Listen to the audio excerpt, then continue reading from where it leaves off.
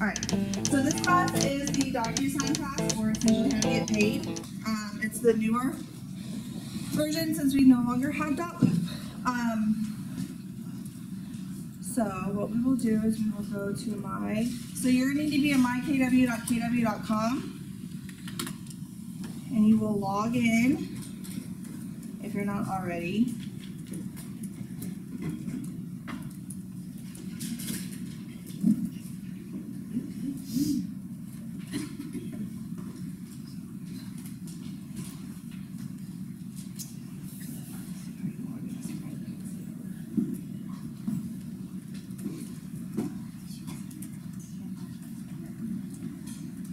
So just log into your Keller Williams account. Yes.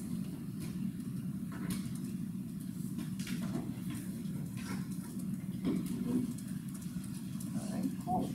So let us-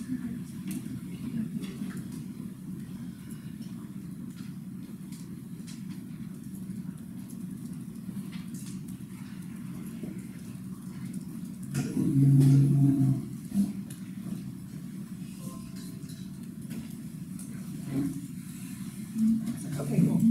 So.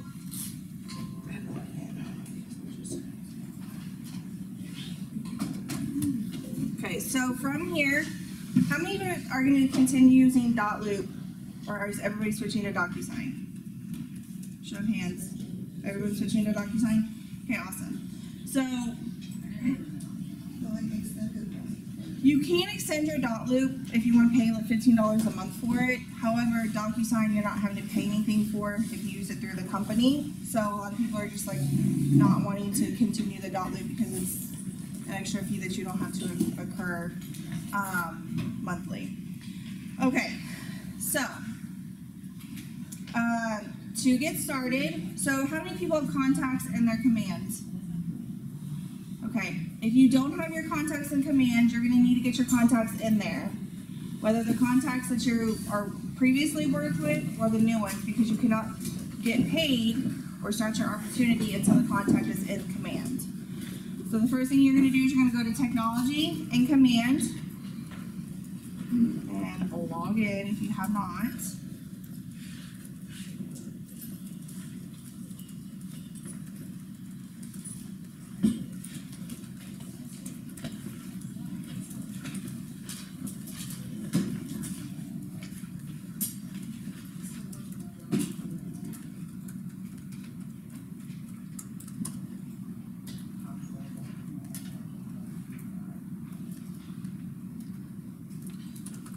Sorry, technology apparently does not want to work with me today.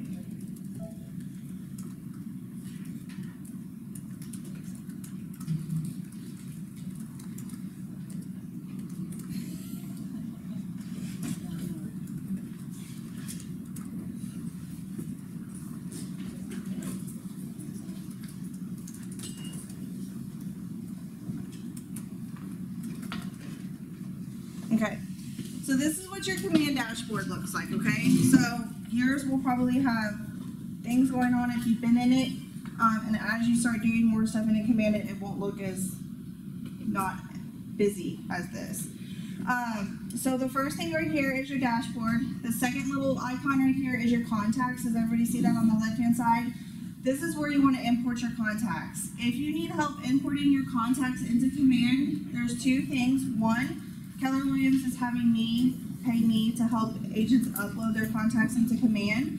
I will give you my email address and you can feel free to email me if you need help. Or if you're tech savvy and you feel like you, can do it, when you click on this import button that's over here on the right hand side, you can actually download this pre-made CSV file and then copy and paste. If you already have stuff in Excel or a CSV file, you can actually copy and paste in the appropriate columns, save it and upload it, and your contacts will be uploaded into command.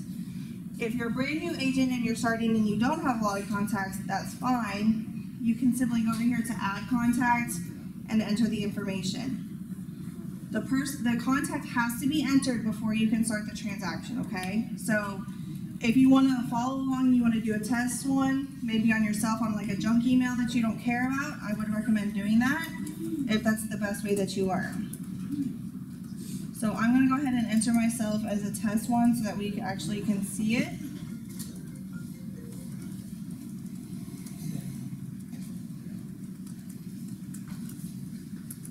Okay, so I'm going to enter myself as a contact and I'm going to push create. Once you push create, and I'm actually going to find that contact that I just created.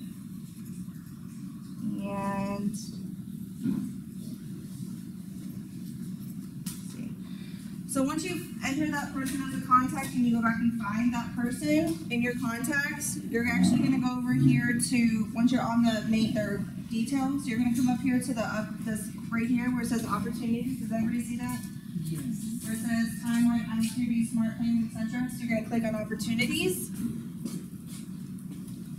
And you're gonna click create opportunity. Does everybody see that? Mm-hmm. So you're gonna click create opportunity. Now what that's gonna do is it's gonna make you fill in some information in order to be able to proceed. So it's always gonna be Austin NW because that's the market center you're out of. The opportunity is either gonna be listing, buyer, landlord, or tenant. So for those that do a lot of leases or a lot of lease listings, we have those options for you as well. so for this example, I'm gonna do tenants, okay? Then it's automatically gonna name the opportunity name as your client's last name and whatever, uh, um, whatever opportunity type you cho- you chose, but you can change that if you don't want that as the opportunity name. Once you've done the, and anything that has the red little star has to be filled out in order to be able to finish creating the opportunity, okay? So once you've created the opportunity, once you've filled out everything that you need to, you will.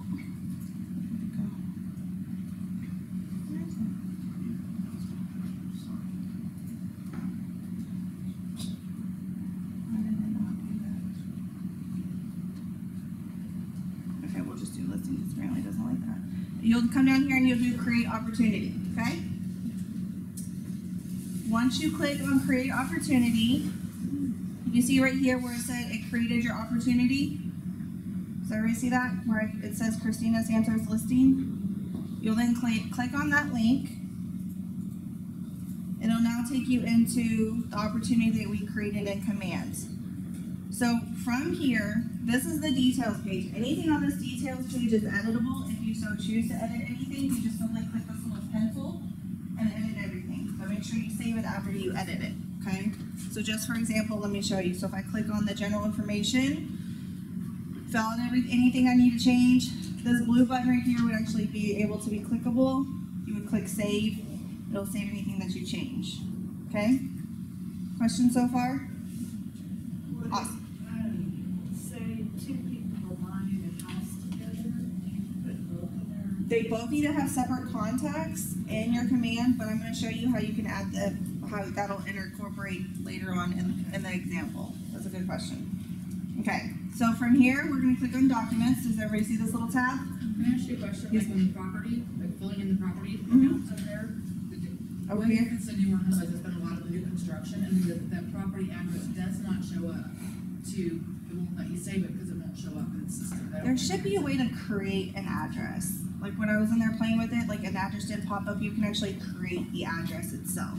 See, I can do that, yes. Okay. Well, let's make sure, well, let's try that later, make sure that we can get that to work for you. But I know that you can actually create the address, because that ha- does come up a lot with new builds. Okay. Alright, so from here, we're gonna click on documents, okay? So from here, you're gonna see what, it might be a little confusing, but it's not as scary as it looks, I promise, okay?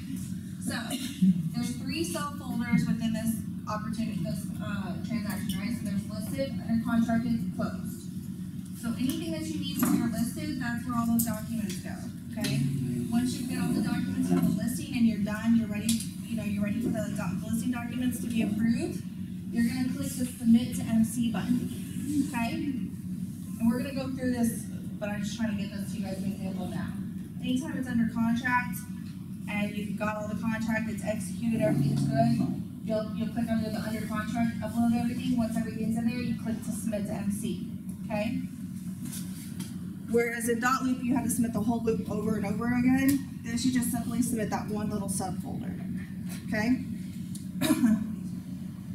So, So is, is a room, uh, just automatically assigned to each transaction?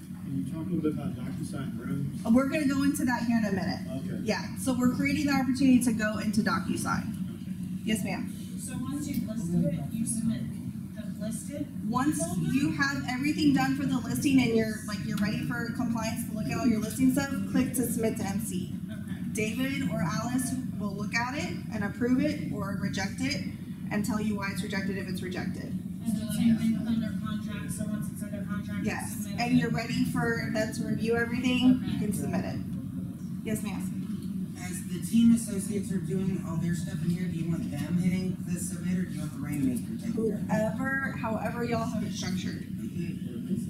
Yes, ma'am. So you have to enter each file separately, you can't just scan a whole file and upload it? No, She's gonna. no, no. Once you create opportunity, where's documents? It should show, once you create that opportunity, you click on the documents tab, does it not show? Uh, you have to go to the details and click on the edit. So on the top right, it's details, documents, offers, Going across.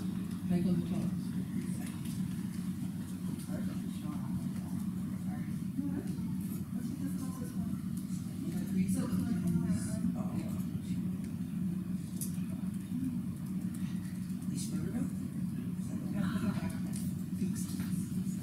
It's only a little step, but it's those little steps that are key to know so you know what you need to do. Okay, so on the documents, you can't miss out.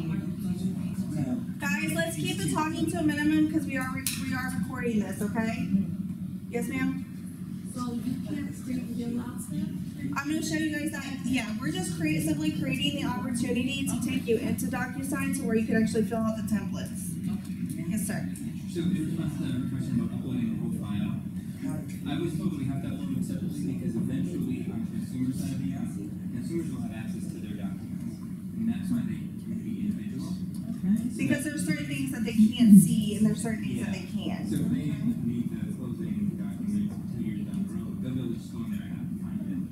Yeah. That's they all have to be separate. That's fine. They can't, they don't need to see the other person's, for example, if you're on the buy side, they don't need to see the seller's information. Unless they want that information to be known, okay? So, from here, we're gonna go to start a transaction. Now, you see how she has DocuSign and loop still as an option? Now, let me state this so that everybody knows this, okay?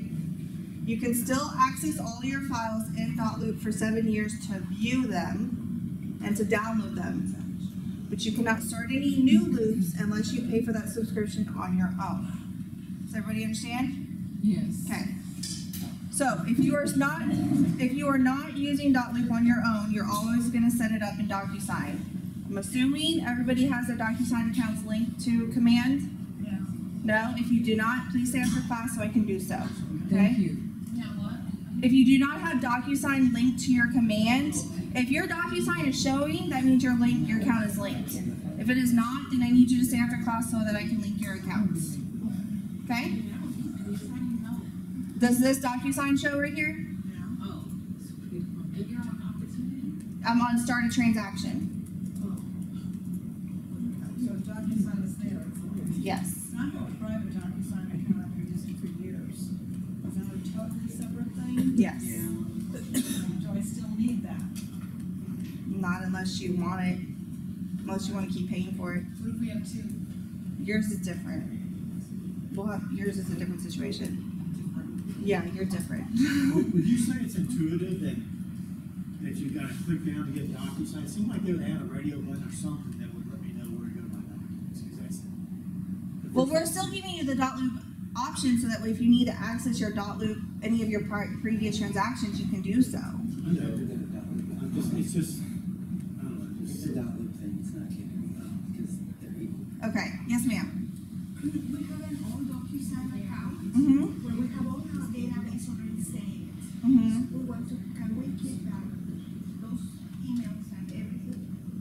Um, you can, but if you ever have a DocuSign issue, DocuSign our, with our account won't be able to help you. Yes, ma'am. I just clicked on DocuSign and it says it appears you didn't connect agent access to DocuSign. Okay, so after class now. There's probably one little step that you didn't realize that you needed to do that's super easy fix. Okay, so I'm gonna go ahead and click on DocuSign, and now what it's gonna do is gonna actually take me to DocuSign.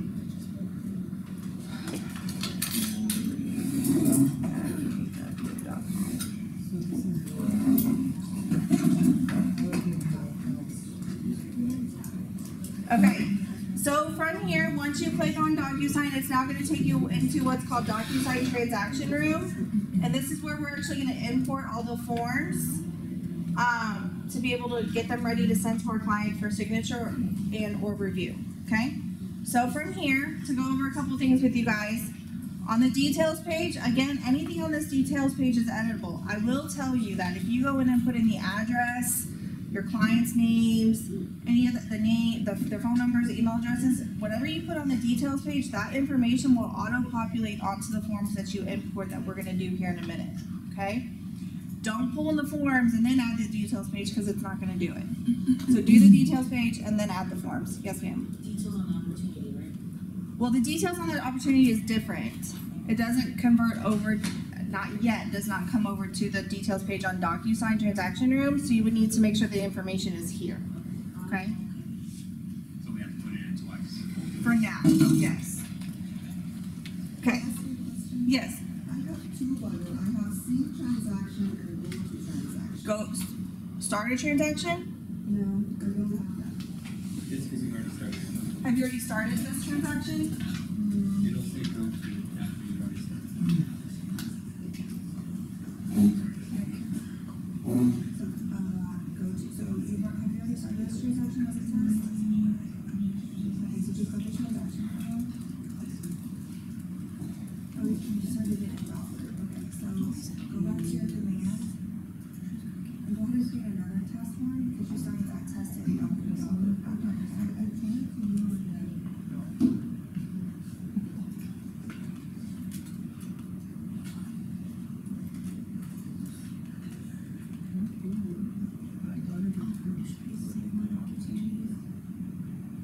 Create opportunity. So just up or down, and do create.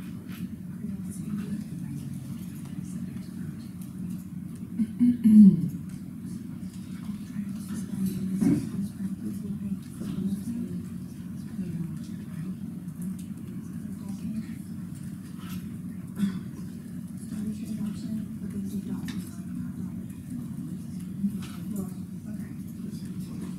Alright, so from here, make, like I said, make sure that you fill the details page first if you want that information to auto-populate onto the documents.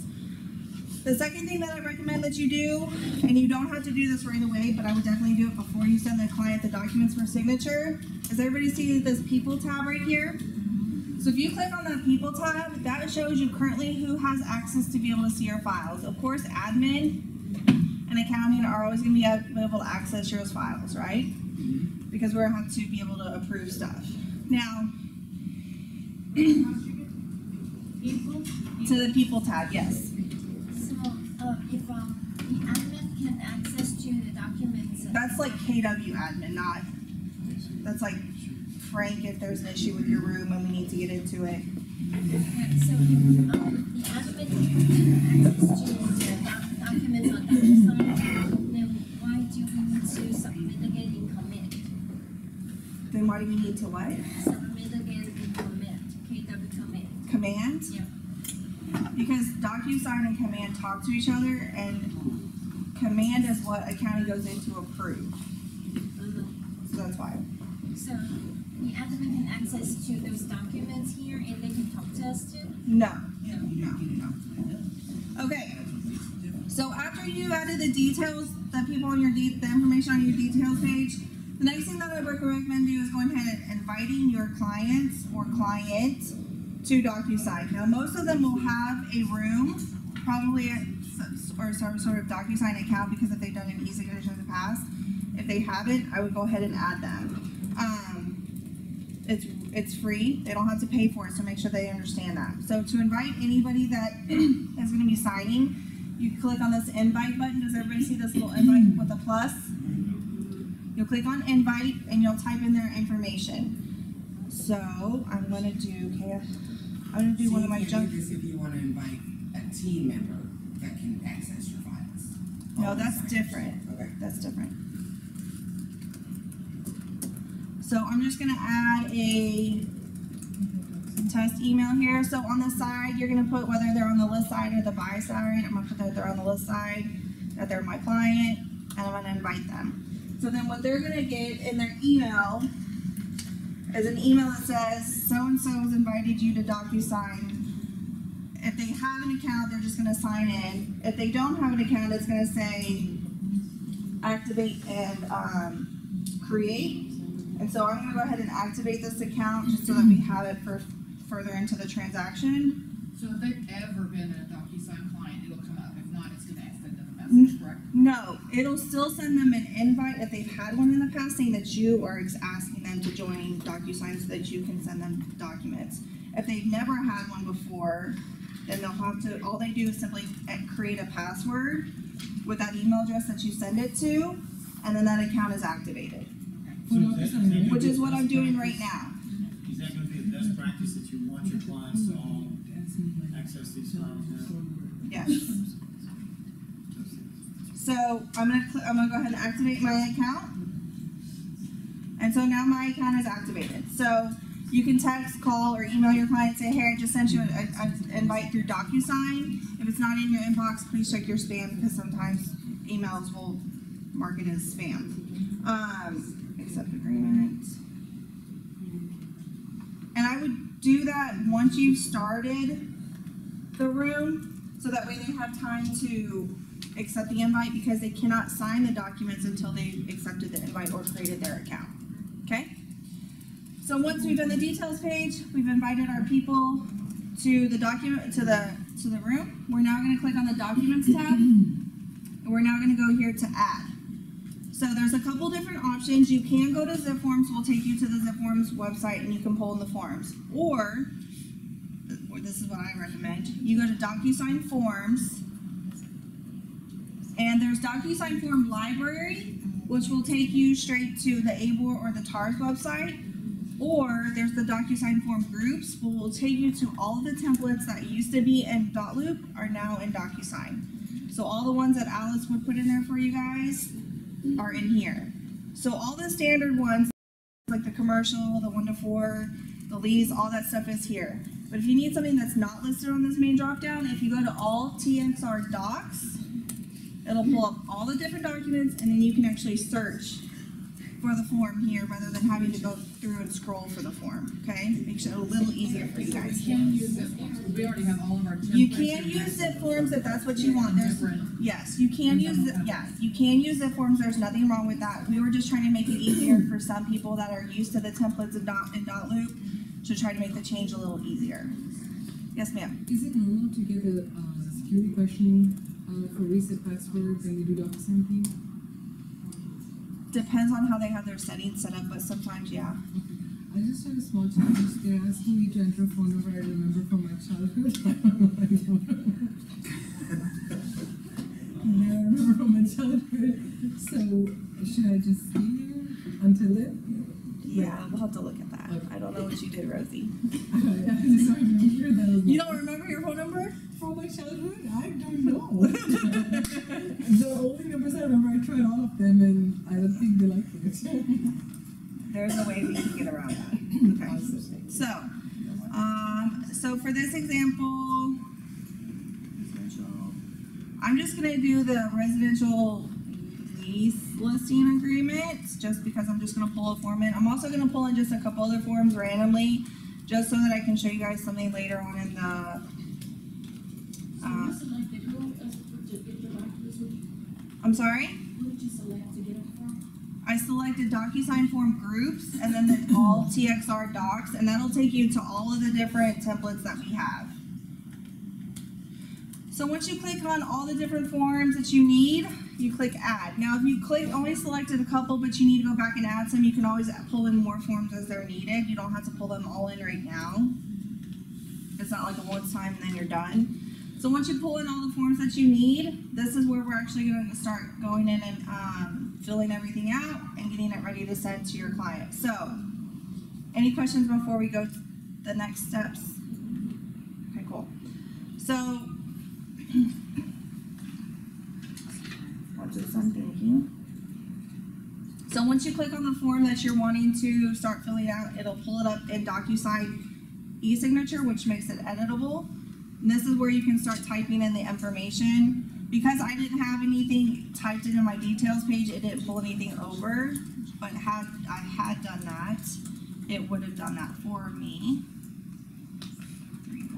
Does, does DocuSign have the concept of templates to where all the broker information is already filled out if we set up as templates? You can, if you have them already set up in templates, you can pull those in every mm-hmm. time. No, I'm asking, like in zip forms, we build templates, Right. then after Yes. reading those. Yes. Does DocuSign have that similar, Yes. okay, so when you were saying download all these TXR forms, they're not preloaded with the KW? No, simply Alice was just pulling all the forms in that are used on a regular basis in there so that you guys don't have to go to zip forms and search for them. But forms that Alex put in there does not currently have brokerage information already They're pre-populated. They're just blank. They're just blank. But I definitely, you can definitely fill them out and save them as a template to be able to upload it as you need them. Which is a lot of what a lot of agents are doing or a lot of teams are doing. They're just importing those forms that they already have filled out with the brokerage information into here. So once you fill out everything that you need, you'll always push save and close.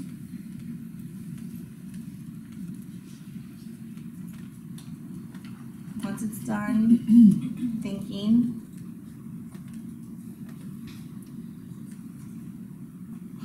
Whatever. How is not an appropriate abbreviation? I will just spell it out.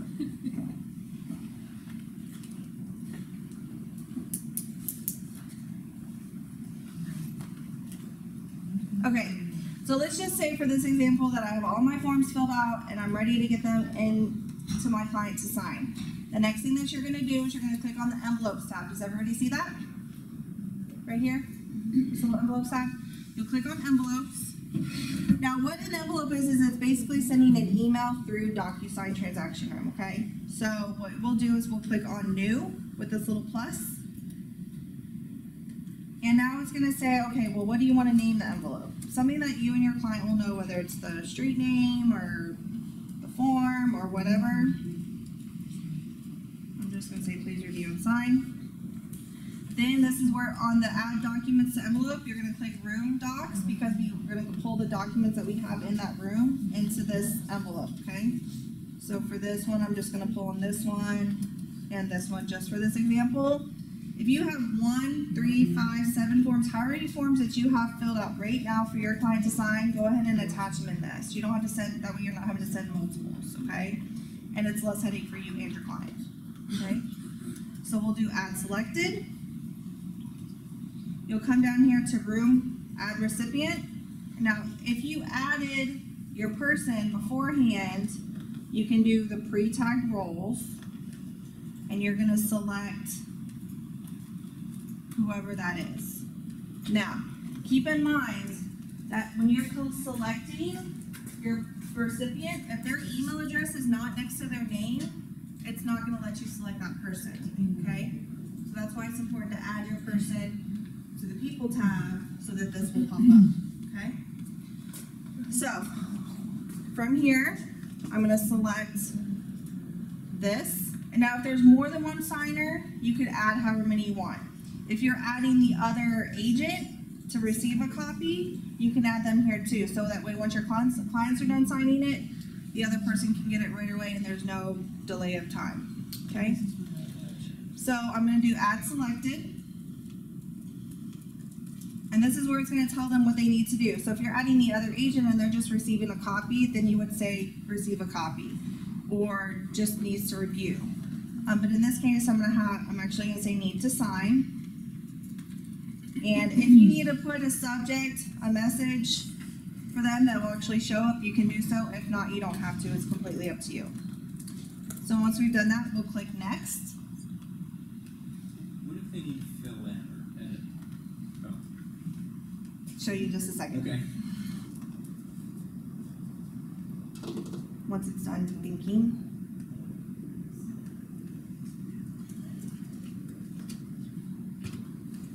Okay, so now this is gonna, where it's gonna take you to where you can still edit things. So if there's like a box that you need to put them to where they need to type something or check something, you have those different options over here. But do you see where it automatically pre-tagged where I need his initial? So if you add your person to the people tab and they've accepted it, it should automatically pre-tag it for you. Can do pre-tag. However, I still recommend going through and looking at the document to make sure that nothing was missed. Just because you don't want something to be missed and then have to send it back to them for like one signature or one initial, because that's really frustrating, right? Now, if there's two people on this drop down right here, do you see where it said, like my name has the yellow next to it? If there was another signer, their color would be blue or green. I can't remember which order it is. So if my husband was signing, then I'd be yellow, and his hat would be right next to mine with a different color. So as you're going through the documents, make sure that everything was put there. You need to switch at page two, you can still toggle between it to make sure that everything's there for signatures, initials, and dates. Does that make sense? Okay, so say now that you need them to type in something, you can actually click, and drag this text box, and you can either have it or you can have them fill it in. Does that make sense? So like if they're, if, I don't know what they would need to type in there for you, but if they needed to, they have the option to type it in there for it if they needed to. Whether they're Belfax or not. that's what- Yeah, something like that. They can type something that they need to. Yes, ma'am. We're letting clients modify contracts? Just only if it's like a box where they need to type in information for you. Like if they need to type in, Seller disclosure. yeah, something on the seller's enclosure and they don't want to print it out, print it out and fill it out, they could sit there and mm-hmm. type it if they really want to. But not contracts necessarily. I'm just trying to give you guys the option of where you can. just friend kicked in. Yeah. I'm just trying to show you guys the different options that you guys have for these different things in here, okay? What about the lease application, where they have to fill in ninety percent of it? Is that all fillable for them? You can make it fillable. Ah. But you can Take it, take it, It's not, do it one time and have a blank template where you can. Yeah, that's what I'm saying. You can make it as a template as fillable and just download that You know, fillable you know your business and what forms you use the most, or just have them done and ready and. Oh, wait, okay, I'm just saying, that should be the one that was already done, like all the rest of them. I'm not sure, I'm not sure you could have a text field that's fillable as a template. I think it is, because And I think the most complicated. you don't have a party assigned hmm. to it. Well, does this one have like autofill, like, Yeah, so if I would have put my address and my phone number and stuff like that on the details page, it would have filled in this information, but because I didn't, okay. it didn't, didn't fill in that information for me. I was just checking. There, it's gonna transfer. Yes, yeah, if you do it before you bring the documents into the room. Okay, so let's, say- yes, That's one question. Uh, so we were able to go through the DocuSign, so we're with you guys now. okay, Um, so when we go DocuSign form, they ask us about NRISD. I'll worry about, I'll help you with that later. That's something I have to help you with real quick after Okay. Okay, so. Let's into here, okay. So let's say that I'm ready to, um, send this to my client. You can either review it just so you can kind of see what your client's gonna see, or you, you can say you're ready to send. If you're ready to send, you'll click the send button. And it'll tell you your envelope has been sent to your client for signature. Then you'll text, call, email your client however they're gonna respond to you the fastest, saying that your client, that you sent them something for signature, and I'm gonna go through and actually do this real quick so we can see. So you see where it says right now it's waiting for others? That means that your client needs to get on their job and do their job. So this will come through.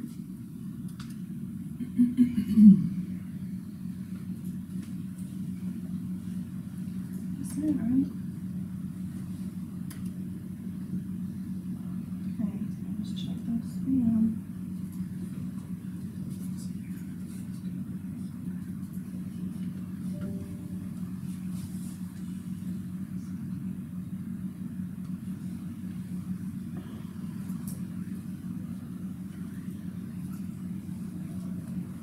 Okay, it's not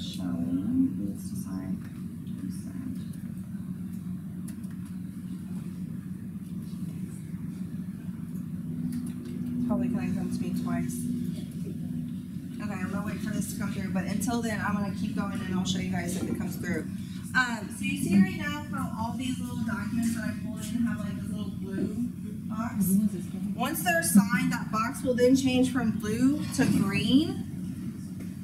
That's how you'll know that those are the ones that you need to import into command. And of course, this isn't coming through.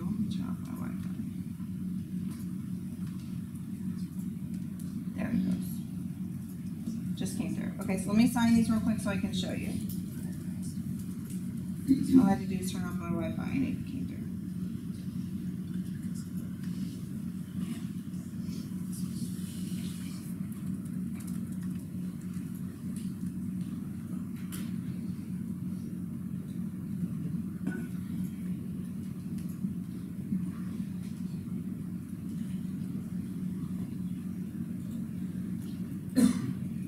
You.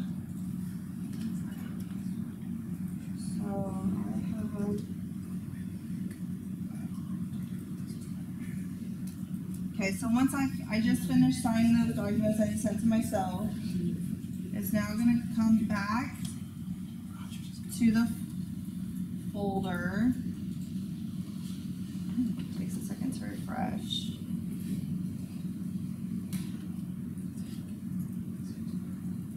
It's thinking.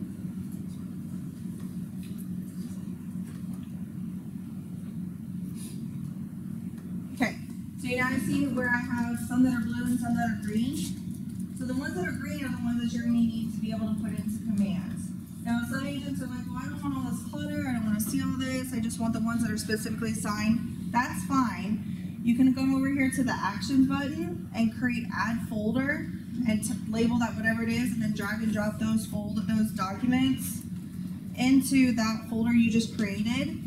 So you see right here where it has the folder I just created and then the room docs. So if you want all those templates that you don't want to see it because you try to keep it organized, more power to you. You simply click on here on action. Oh wait, no, is it? You can click on uh, move, and then you can select on in current room under test, move it, and so now it moves it from the documents to that test folder, and you can actually close this test folder so that way you don't see any of it. But you'll still- it'll still be there. About test, I mean folders and rooms and just Yes. best practice on how to. So DocuSign Transaction Room is now what, basically think of it as your new loop, okay? Folders within DocuSign Transaction Room is just another way for you to keep organized. So say that you have a listing and you get an offer, but that offer falls through. Well, you could create a folder saying first offer, put all those first offer documents in that folder so that they're out of your sight, right? Collapse that folder, they're out of sight, out of mind, right? Then all the documents that you're gonna be working with might be the second offer. The reason why I say this is because I've actually had an agent that had like three, four offers on one house. And so it happens, right? And so it was just a way for her to keep organized, but only be able to focus on the ones that were in that transaction room docs that she had to focus on. So for those that like to stay organized and don't like extra stuff in their way, this is a really good way to do it within DocuSign Transaction Room. And those are archived as, as long. Well, no, they're not archived. They're still there. Like I just collapsed the folder so I don't have to see that document. No, I'm asking, do they expire or anything like that? Mm-mm. No. I don't have to worry about maintaining them if they're state documents. Nope, they'll stay here. As long as you're around. They'll be here. So, does that help with kind of like the organization and kind of understanding how you can kind of keep stuff organized? Because I know, uh, especially as this busy time approaches us, it's going to be chaotic. So, from here, when you go back to command, and I just toggled, I have a c- DocuSign tab open and I have my command tab open, okay? The other thing I wanted to point out before we go back to command is, you see this little gray circle right here? This little person? Does everybody see that? This little circle right here, does everybody see that? So that can actually toggle you back and forth between e-signature and transaction room. So right now we're in transaction room. If you click it and you say switch to e-signature, it'll take you straight to e-signature and so forth. So it's a way just to toggle back and forth, click in manage. This will also tell you what's, what's waiting and what you're still completed or expiring soon or whatever the case is. So I'm gonna switch back to rooms.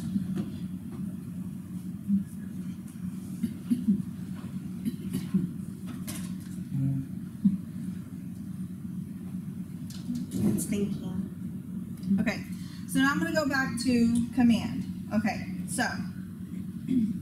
Now let's say that you're ready to add a file to one of these spots. You simply click on add a file, click DocuSign, and it's gonna say which file, which form do you wanna bring in.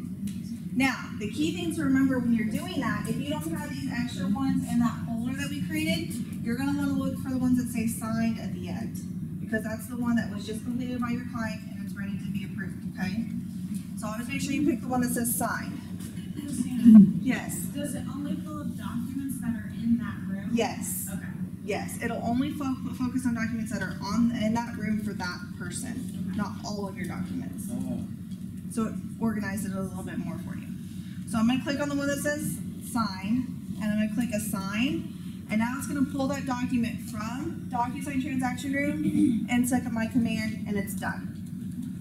Yes, sir. I saw the a manual button. If we have documents that were signed in like zipForms, You could just download it, manual, and just pull it in. and we'll be okay. Yes, either way, it doesn't matter. As long as they get into that spot, it doesn't matter how you get it there. Can you go back to the manual button? Huh? Can you go back one screen just so we can see the manual button? Yeah, so click add a file and click manual. So remember when we were saying down and you drag it from your com- computer? Like if you have it saved on your computer, you can just quickly just click and drag that folder and drop it into that box and it'll put it in there too. Another question, if we have documents that our client signed manually, right, Mhm. with signatures. Scan 'em we can in. Still do this. Yeah, scan them in and just drag them in, drop them in that box. Alright, thirdly, so I could continue using zipForms if I want to. Okay. Yeah, there's a, as long as it's an approved form, there's no reason why you can't. Yes, ma'am. So him talking about having things signed in hand, do you also have to upload those documents to DocuSign? No. Just to command? Just to command, because the only thing that compliance is gonna check and approve is mm-hmm. command. DocuSign is just a way for you to pull in the forms and put them into command without having to go to multiple places. Is there any intelligence on the ad files where if I actually upload the wrong file, it knows it? Well, this is one thing that you can do, is you can actually click on these three little buttons and click remove if you upload it into the wrong spot. And then It it'll doesn't know if I put the IDS in the general notice. no, but David will know. David will know. Yes, ma'am. Is seller's field gonna be a mandatory seller's disclosure? No, so there's a spot for, it's only, the only ones that are required is if you know that they're required. Like if you have to have it for that transaction. So not all of these forms for this listing you have to have if it doesn't pertain to your transaction. Okay, we just have a pending one right now where they are not tech savvy, they don't have access to a computer. We weren't sure if we had to try to figure out a way to get them to fill out a new seller's disclosure. Do you already have one? Yeah. Just upload, scan it, upload it, and drop it in there. Okay, cool, but it has to all be done separately, even if our, it goes in a clean. Yours is. Okay. Yes, ma'am. Sorry. No, you're fine. was asked the same exact question, so normally when I send a contract out, it's like a complete, like a all the documents. Mm-hmm. But here she's gonna be separating each out and doing each individually, there's no way to just do all the documents that aren't for that. Gonna tell you. Ask, email David and ask David what he wants you to do.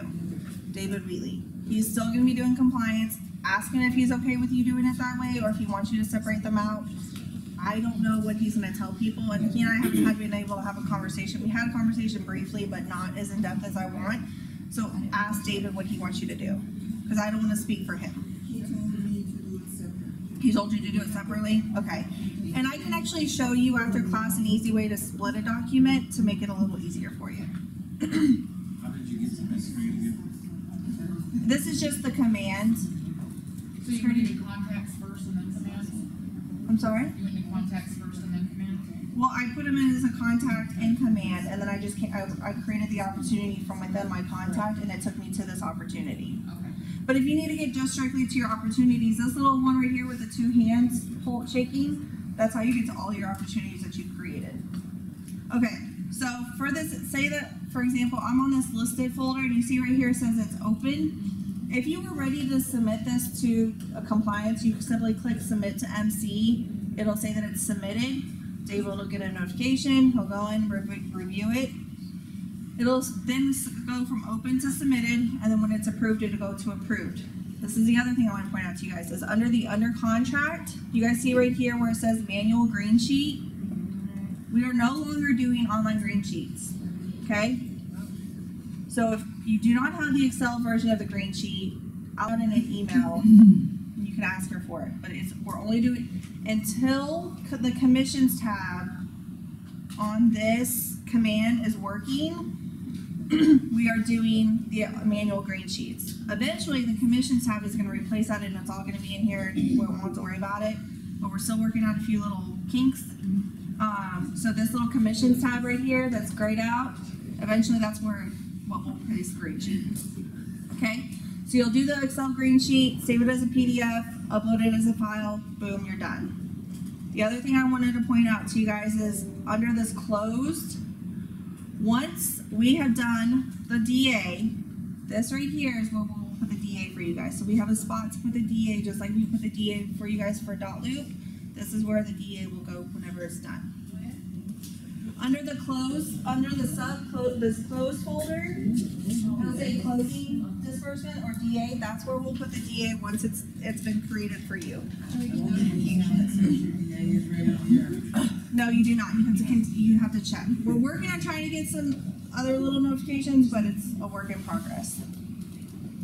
So, manual, always upload your meeting green sheet until further notice, and that's where your DA will be uploaded once it's completed.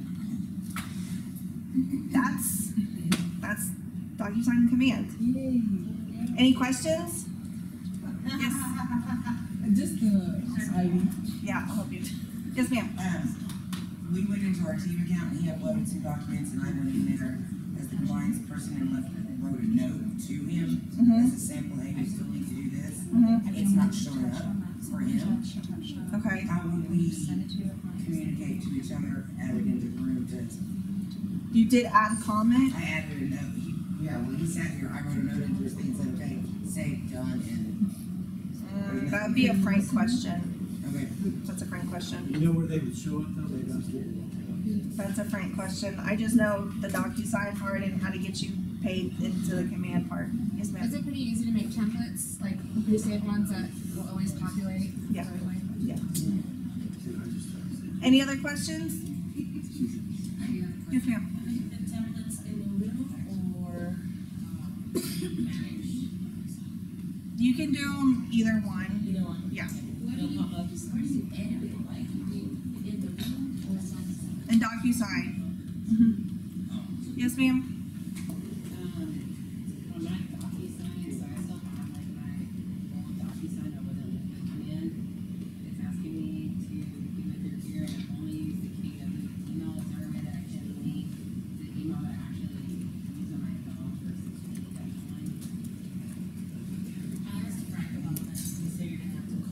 Yeah, you have to call. You have to call DocuSign. Because when we set this up, we gave them all of the agents and all their KW emails and said these are the ones that are associated with our account, not your personal ones or your whatever, what, like your team names. Or we don't. We, we just gave them the KW emails specifically. So you have to call them and say, hey, can you merge this for me? And they have to do it. Any other questions? Yes, sir. Um, a couple of questions. So, done submitting or uploading all of my documents, I hit that submit to MC button and it goes to compliance. Yes. And compliance, uh, responds, well, they don't necessarily respond, they just send me the DA and I have to keep checking that, right? Yeah, but you'll also get a notification if there's, that what you submitted was approved or denied. And if it's denied, then it's something that you might need to fix. Second, secondly, I'm noticing some of the documents are listed as required or optional. Yeah. It's only submit the forms that you know that you need for that transaction. regardless if it says required. Aw, I love you. Thank you all for being here and doing this because I know this transition is hard. And just know, change is hard, and we love you all. That's